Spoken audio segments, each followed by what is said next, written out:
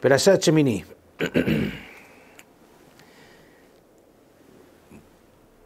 Shemini significa oitavo. Bayoma Shemini no dia oitavo. Oitavo do quê? Era Rosh Chodesh Nissan, o dia da inauguração do Mishkan. Então, oitavo do que era? O primeiro não era oitavo. Oitavo era porque era sete dias de Miluim, ou seja, sete dias de preparo, vamos chamar assim, que durante esses sete dias, Aharon e seus filhos, que eram os Koanim, fizeram uma série de coisas com Moshe Rabbeinu atuando como Kohen Gadol. Esses sete, sete dias de Miluim, que se chamam de preparo, foi Moshe Rabbeinu atuando como Kohen Gadol. Quer dizer, neste oitavo dia, que era Rosh Chodesh Nissan, que foi o dia inaugurado oficialmente, Moshe passa a faixa, a sua faixa para Aaron a Cohen. E aqui Orahai Makadosh nos chama a atenção com o seguinte. E ele diz assim, alguém que ele passa um cargo importante para outro, sempre dói. Vocês acham que Moshe Rabbeinu não queria ser Kohen Gadol? Claro que ele queria ser. Mais ainda, aqui nós temos o seguinte. Quando nós consideramos e vemos que a pessoa que está passando essa faixa, e aqui não é apenas uma, passa de, uma, uma passada de faixa e acabou a história, não. Aqui tem um começa a dinastia de Aarón como Cohen até a eternidade. Os Kohanim que nós temos hoje são descendentes de Aarón e seus filhos. E então, alguém que passa, e você sabia, sabia, sabia disto, tá certo?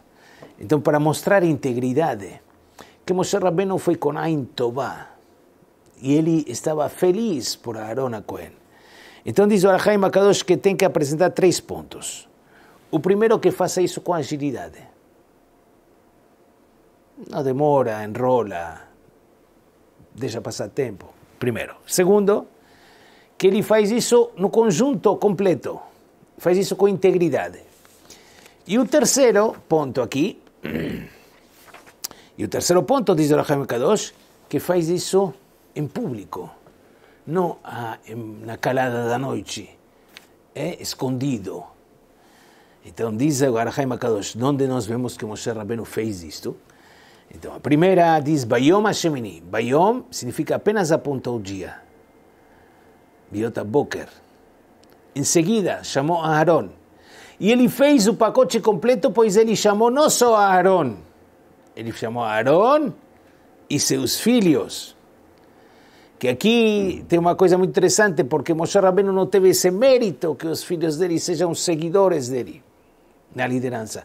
E Aaron sim, Moshe, e, e, e quem nomeou os filhos de Aaron? Foi o próprio Moshe. Fez isso completo. E a terceira questão, certo? Fez isso em público. E por isso que diz o versículo, Cara Moshe, le Aaron, Ulbanav e seus filhos, Ulzikne Israel os anciãos de Israel, quer dizer que fez isso em público, na frente de outras pessoas. Esta é a primeira explicação desta perashá do Rahaim Akadosh. E vamos passar para a segunda desta semana. E eu quero ir para o finalzinho da praça. Nós sabemos que a segunda parte da praça Shemini fala sobre os animais que são permitidos comer, que animais, aves, peixes, répteis, quais aqueles que são impuros, etc. Toda a lista está aqui.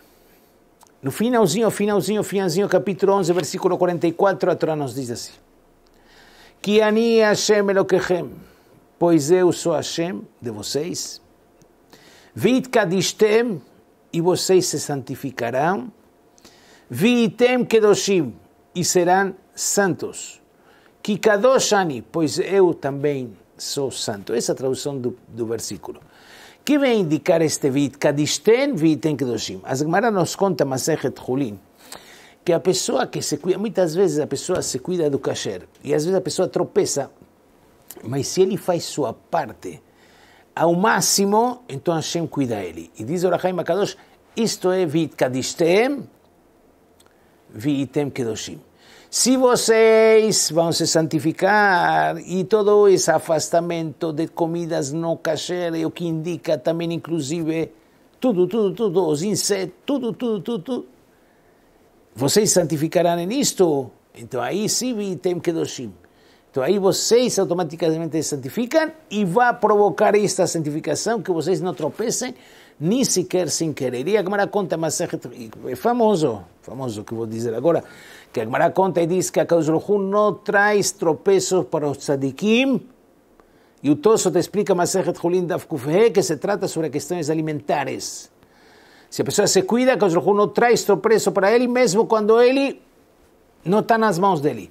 E conta a Gemara e disse Kalva Homer, aqui é um Kol Shiken, a partir do burro de quem? De Rabbi Pinchas Ben Yair. O burro de Rabbi Pinchas Ben Yair, a Gemara conta um episódio lá, que uma vez ele estava viajando e deu o burro para, na estalagem para guardar, etc. Deram comida, deram cevada, os burros comem cevada, deram, não comia, não comia. Bom, capaz que estava com sujeira, limparam a cevada, não comia, não comia, não comia, não comia, até que chegaram de Rabios e Rabi Hasbei disseram para ele, não, seu burro não come. E vocês tiraram Masrot. E daqui a Gemara tira assim, se o burro de um tzadik, que o cuida ele, Kalvahomer o tzadikim a pessoa que se cuida com kashrut, a Kosh cuida ele. Vit kadishtem, vitem kedoshim. Vocês se santificam, você se cuida, você faz, você faz o máximo, não fecha olho aqui, fecha olho lá, faz o máximo, então a Kosh cuida para você não ter tropeço, nem sequer sem querer. שבת שלום.